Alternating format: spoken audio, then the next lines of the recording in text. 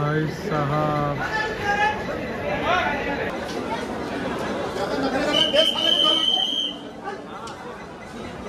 लेकिन अगर आप फैमिली के साथ ट्रैवल करोगे ना और ऐसी कोई सिचुएशन में अगर आप फंस गए हो तो भाई बड़ी दिक्कत होने वाली है।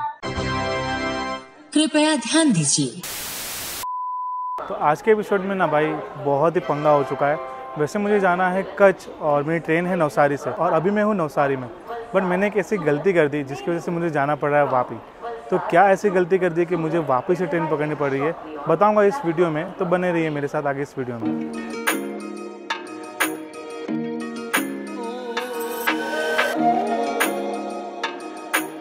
बाकी चलिए, हमारी ट्रेन भी आ चुकी है वापस जाने के लिए। Surat Bandra superfast express. वैसे जाएगी बांद्रा तक? बट हम इसमें सफ़र करेंगे ओनली वापी तक।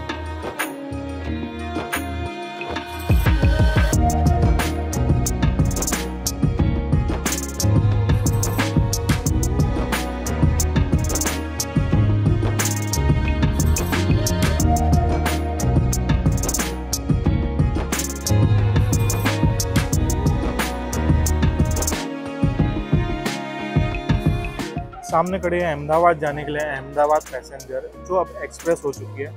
तो मैंने इस ट्रेन की भी जर्नी की थी, जनरल क्लास में। वो भी काफ़ी अच्छी थी मतलब काफ़ी मज़ा आ गया था जनरल क्लास में। तो अगर आपको वीडियो देखना है तो जाइए चैनल पर या तो मैं लिंक डिस्क्रिप्शन में डाल दूँगा। तो वहाँ से भी आप इस ट्रेन की जर्नी देख सकते हैं। चलिए तो मैं आ चुका हूँ अभी वापी में। अब मुझे वापी क्यों आना पड़ा? जबकि मेरी ट्रेन है नवसारी से ही। मतलब जो ट्रेन में मैं कच्छ जाने वाला हूँ, कच्छ एक्सप्रेस, वो नवसारी स्टेशन पे भी नौ बजे रात को रुकेगी। बट हुआ कुछ ऐसा ना, और वो जो हुआ, वो मेरी गलती की वजह से ही हुआ। तो भाई हुआ अब ऐसा कि जब मैं टिकट बुक कर रहा था तो तब मुझे नवसारी से कच्छ की टिकट अवेलेबल नहीं दिखा रही थी। तो मैंने चेक किया बोरीवली से। तो बोरीवली से मुझे स्लीपर की टिकट कंफर्म दिखा रही थी। तो मैंने बोरीवली से टिकट बुक कर दी। बट उस समय मुझे बोर्डिंग करना था नवसारी से। तो मैं वहाँ पे सिलेक्ट करना भूल गया कि मुझे नवसारी से बोर्डिंग करना है। और जैसे कि इंडियन रेलवे का रूल है कि टिकट जो स्टेशन से आपको बोर्ड वही स्टेशन से करना कंपलसरी है। पहले ये रूल नहीं था जब चार्ट वगैरह बनते थे तो पहले आपको दो स्टेशन तक तो आपको टाइम दिया जाता था ट्रेन बोर्ड करने के लिए।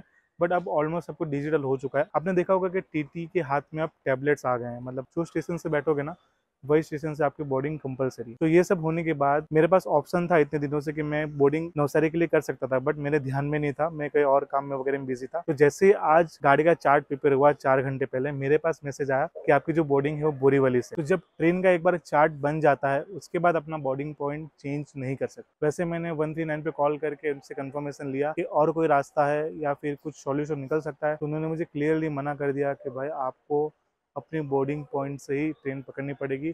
नहीं तो आपकी जो सीट है, वो जा सकती है। क्योंकि जो टीटी सर है हमारे, वो वहाँ से मुझे एबसेंट मार्क कर देंगे। तो मैंने फिर सोचा कि भाई टाइम तो इतना हो चुका है कि मैं अपने नवसारी से बोरीवली तो जा नहीं सकता। क्यों? मैं आपको बता रहा हूँ टाइमिंग मुझे ये लगभग पता चला दो बजे के आसपास, क्योंकि बोरीवली से ट्रेन निकलने वाली थी छः बजे के आसपास। अगर नवसारी से मुझे बोरीवली जाना हो तो मुझे कम से कम चार घंटे चाहिए। तो अगर मैं नवसारी से निकलता बोरीवली जाने के लिए तो मेरी ट्रेन डेफिनेटली छूटने वाली थी। तो अभी प्लेटफॉर्म नंबर एक पे आने वाली है Saharsa Bandra sorry Bandra Saharsa Humsafar express और आप जो भीड़ देख रहे हो, ये सारी उसी ट्रेन की। आज मैं सफ़र करने वाला हूँ double two nine double five Kutch express में। वो भी अंजार तक। वैसे ये ट्रेन के लिए तो भाई क्या क्या पापड़ बेलने पड़े आपको मैंने बताया ही। ये ट्रेन निकल चुकी है बोरीवली से लगभग छः बजे के आसपास और यहाँ पे वापस भी इसका आने का टाइम है आठ बजे। तो ये आ गई है वंदे भारत एक्सप्रेस, जो कि गांधीनगर कैपिटल से मुंबई सेंट्रल की ओर जाएगी।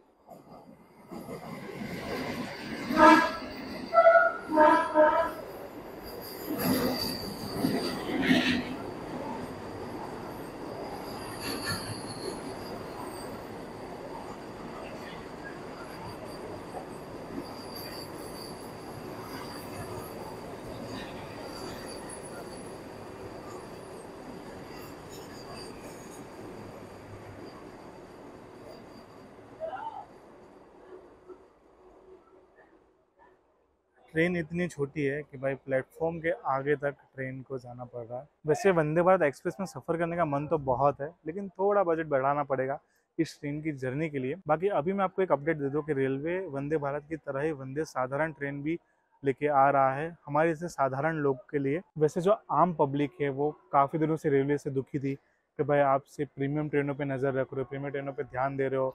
और जो normal L H B train हो रही थी, उसमें भी स्लीपर के कोच हटा दे रहे थे। कम कर दे रहे थे, थर्टी के बढ़ा रहे थे। तो ये कंप्लेन तो थी भाई रेलवे से।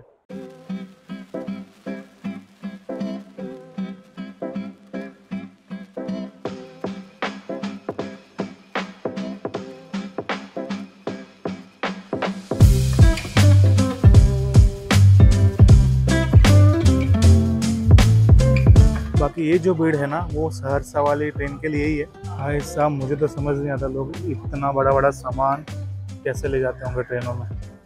मैं तो ना ले जा पाऊँ। मैंने सोचा चलो एक नंबर पे जाते हैं बट एक नंबर पे ना काफ़ी भीड़ है, क्योंकि अभी जो सहरसा पटना वाली ट्रेन है ना, वो अभी तक आई नहीं है। एक बार वो भीड़ निपटती है, फिर हम एक नंबर पे जाएँगे।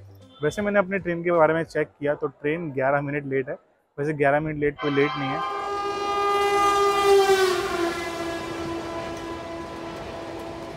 बाकी अभी मेन दिक्कत क्या है पता है? मुझे कंफर्म नहीं है कि भाई सीट मुझे मिलेगी, नहीं मिलेगी, क्योंकि मेरा बोर्डिंग जो था वो बोरीवली से था और बोरीवली की एक स्टेशन बाद मैं वापस से बोर्ड कर रहा हूँ। वैसे स्लीपर में टीटी वगैरह इतनी जल्दी से चेक करने आते नहीं है बट ये सब नसीब का खेल है, क्या पता आप आ गए और मुझे एबसेंट मार्क कर दे। वैसे सीट मिले ना मिले वो तो बात अलग है, लेकिन आप भी ध्यान रखिएगा जब भी आप टिकट बुक कर रहे हो तो आपका जो बोर्डिंग पॉइंट है, वो बड़े ध्यान से सिलेक्ट करना। अगर सिलेक्ट करना भूल जाते हो तो भाई चार्ट बनने से पहले तो ज़रूर सिलेक्ट कर लेना। बाकी जो मैंने गलती की है, और मैं जो टाइम वेस्ट कर रहा हूँ यहाँ पे आके, वैसे आपको भी करना पड़ेगा। चलिए, मेरा तो क्या है कि मैं सोलो ट्रैवल कर रहा हूँ, अभी अकेले ट्रैवल कर रहा हूँ तो मुझे पर्सनली इतनी कोई दिक्कत नहीं है इतने ट्रैवल से।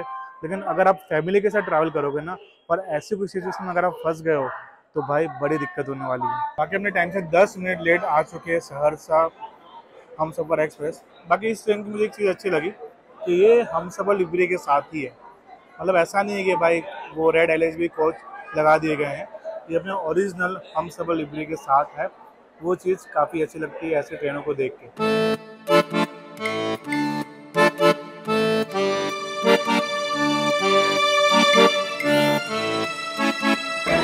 यहाँ पे अभी ट्रेन की हो चुकी है चैन पुलिंग बिकॉज़ वहाँ पे एक जो बंदा है, वो भाग रहा था भागते भागते हुए ट्रेन पकड़ रहा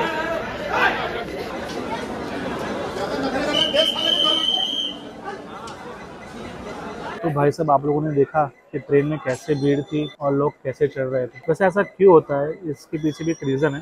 तो मैं आपको बताऊँगा इस वीडियो में आगे। एक बार मेरी ट्रेन आने दीजिए और जब मैं आराम से बैठ जाऊँगा तो हम डिस्कस करेंगे कि भाई ऐसा होता क्यों। चलो भैया ट्रेन आ चुकी है।